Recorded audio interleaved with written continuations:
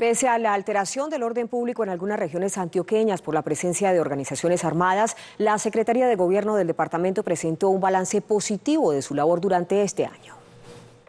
Subregiones como el Bajo Cauca, municipios como Ituango, Valdivia y Bello han sido el punto negativo en temas de orden público para la gestión de la Secretaría de Gobierno de Antioquia durante este año. Sin embargo, los resultados son positivos. Logramos afectar enormemente los hechos victimizantes de los defensores de los derechos humanos.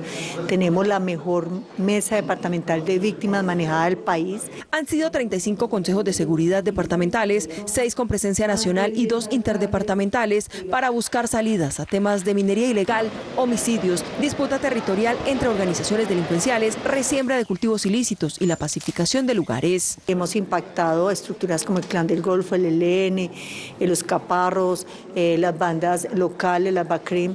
Aunque no se puede desconocer que hay problemas relacionados con los asentamientos de las FARC y la unión entre organizaciones como el Clan del Golfo y el ELN para tomar el control de las rutas del narcotráfico, la Secretaría de Gobierno de Antioquia manifestó que el trabajo es permanente para contrarrestar este tipo de situaciones.